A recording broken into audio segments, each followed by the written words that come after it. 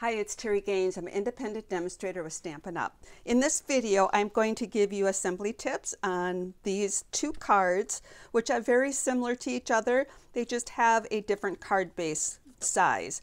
Four and a quarter by 11, folded or, and scored at five and a half, and eight and a half by five and a half, folded and scored at four and a quarter.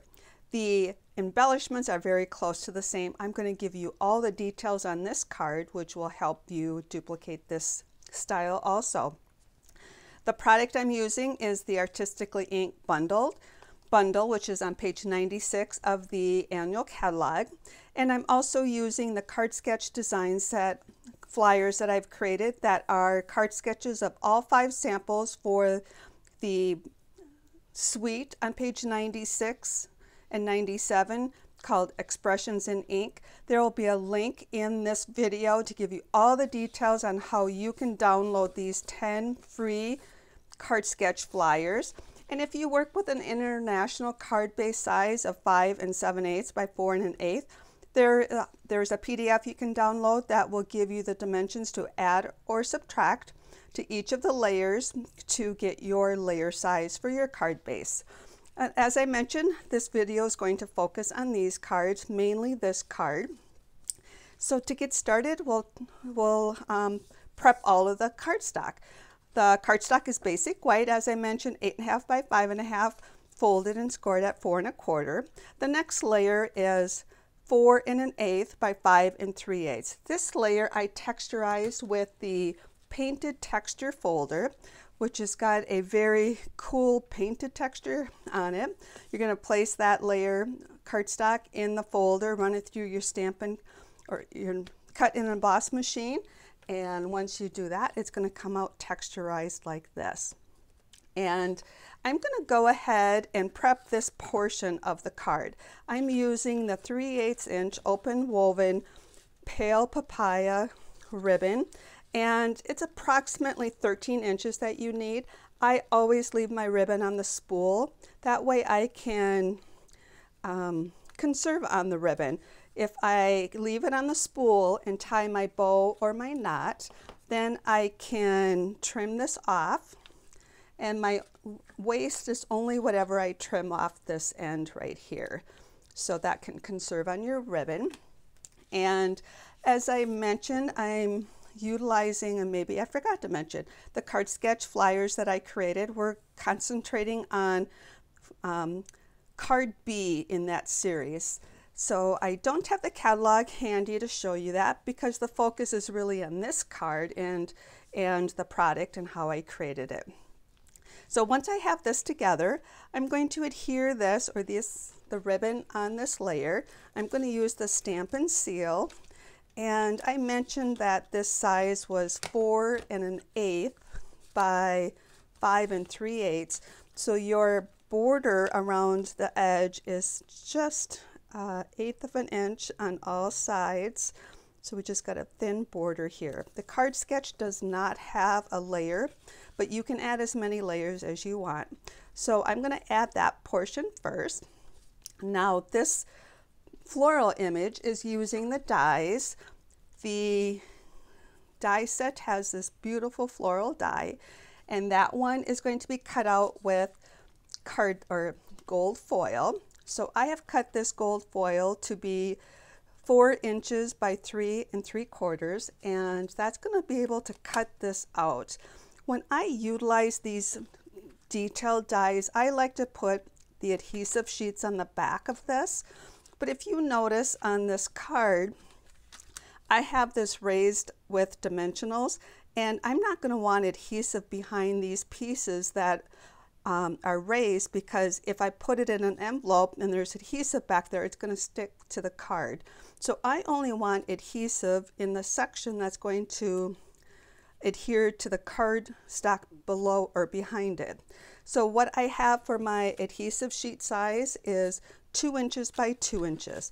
So on the back side of the foil paper, I'm going to put this two inch by two inch piece of adhesive sheet.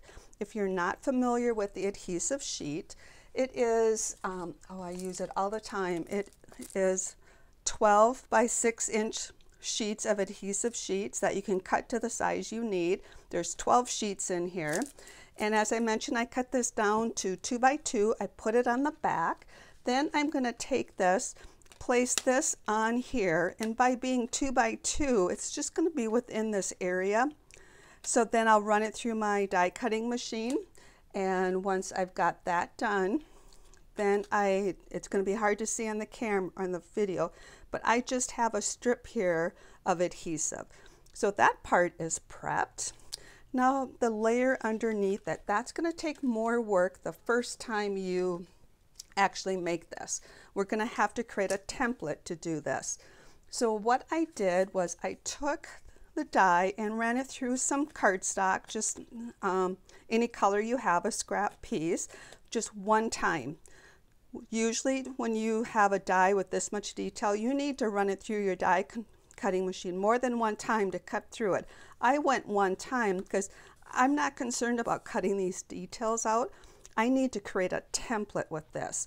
So my template's going to be this layer underneath. So underneath, I don't want all these decorative sprig pieces. So I'm going to take a paper snips and trim those off. I'm going to leave the flowers and the leaves, these two leaves, leaves and this one, but all these little sprig parts, I'm going to actually trim off. So once I trim all of those off, and did I bring a pencil over here? I did, but a little bit farther out of reach. So once I have that done, I have listed here that you need um, a four by three and a quarter piece of basic white. What I did was I took this, created a template with this by tracing around this image. Just go around with your pencil and I'm only going to do part of it just so you get the idea what what I did and I'm not doing a very good job on the camera but it's the idea of what I did go all the way around it once you go all the way around it, then you're going to trim this and you want to trim the pencil line off.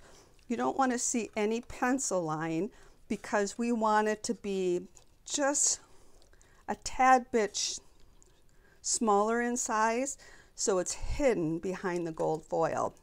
So if you can envision, you're going to trace around the entire image, cut it all out, and then what you're going to do is line it up and just make sure that you get this all cut out so when you cut it out it all lines up and you don't have any white pieces beyond it. Then I would advise you to indicate a couple circles here for those flowers and one here and write template on it. Because if you want to make more than one card like this, you're not going to want to do that whole process again. Just write template, keep it with your stamp set, trace it onto another piece of paper, and as I mentioned, just make sure that you've cut that so you don't have any exposed white. And if you do, it's not going to cause any trouble at all. It's going to really kind of be camouflaged right into the card. So now that I've got this cut out, I'm going to leave my template handy here because the reason I put these circles here, I just scratched those, uh, circled those on there, is because there's two flowers right there. And sometimes you can get this turned around and not know where they are. So I'm going to stamp those two first. The colors I'm going to use is pumpkin pie. I have pale papaya and granny apple green. So what I'm going to do is I'm going to start out by stamping those two flower pieces. And you don't have to be exact on these but I'm going to stamp them like so. And then I've got some white space here. I'm just going to go around here just to fill that white space in. I have one leaf here. This is the one leaf stamp. And I'm going to stamp that and just go on it to fill in a little bit of green. I'm just trying to get some added color so I don't have the white space there. That larger flower, and while I'm at this, I'll do this flower over here, right here. The larger flower I'm going to do in pale papaya. And I'm going to see, line it up like that. And that's pretty good. And I want to get that pumpkin pie center. So I'm just going to go like this and just eyeball that to be right there. That should be good. I want to get the leaf over here. So I'm going to do that in Granny Apple Green and just fill it in a little bit.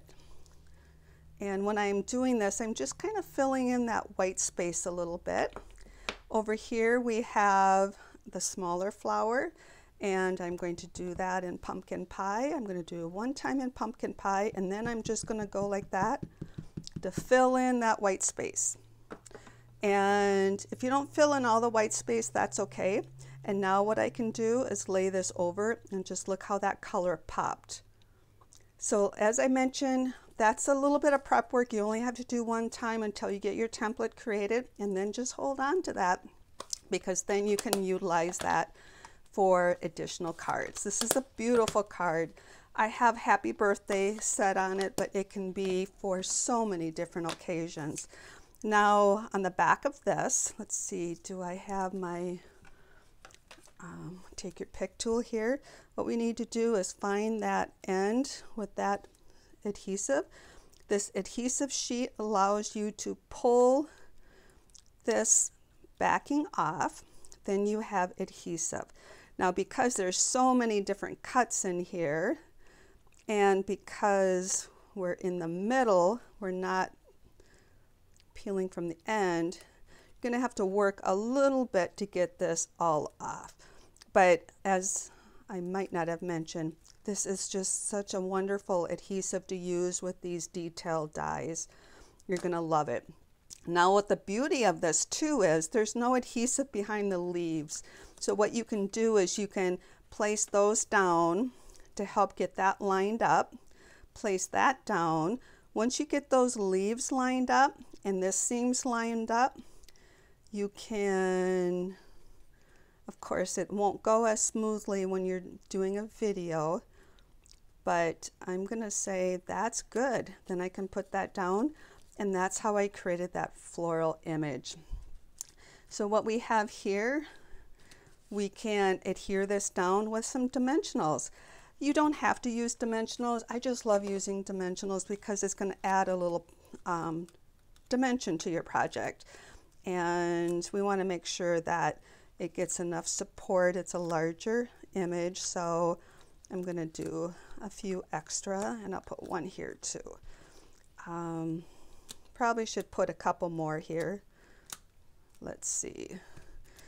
You can um, remember to get them off all of this. I'm going to add a couple more here. I'm going to put one here and just the beauty of these edges are these are still good pieces, so you can take and trim those and add them. They're really strong. You're going to love these dimensionals. It's a strong adhesive. And there we go. And you can just put this on any orientation you would like. And I'm going to place it right like so. Now, if you happen to have an area that you're like not happy with, that's exactly where you would put your banner, your, your sentiment banner. This banner is, I, um, I have it cut at 3 and 5 eighths by 1 half inch and I'm going to use the pick up banners pick a punch. I usually work with this upside down and this is a half inch strip and the reason I work with it upside down is sometimes I don't get it in there straight and I if I look at it while it's upside down I can tell that my banner is um, in their square so it cuts out. I usually cut my banners on both ends first and then stamp the image on here. I'm using the happy birthday and pumpkin pie and to save some time I did that ahead of time. And as I mentioned, you can place this to camouflage any area that you want. And um, the beauty of this type of stamping is there's really no mistakes and any of your stamping, there's no mistakes. But I am going to put this across, kind of right across where these two flowers meet. And I didn't even get that dimensional in the right spot. So let me see if I can get that. Oops. Um, my videos are unedited. I'm not going to redo any of my my oopses. This was this was excuse me. This is what would happen if we were in person too. I would just have to fix my mistakes. So I'd get that a little bit better.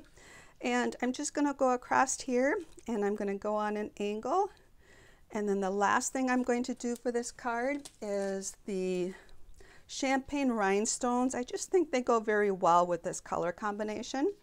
And they are in a packet with three different sizes. So I'm going to just take and add a few of the smaller ones on here.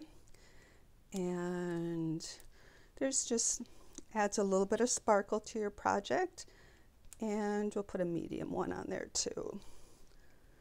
And you can put as many as you want and we'll just put one more over here and we'll stop there but you can put as many as you want so that is how I created this card as I mentioned this card is very much the same this was the very first one I did and I don't know if you noticed uh, when I created this template I cut the leaves off I went ahead and finished the card but when I made this first one I'm like oh why did I cut those off so all the ones I've made since then, I have added the leaf back in.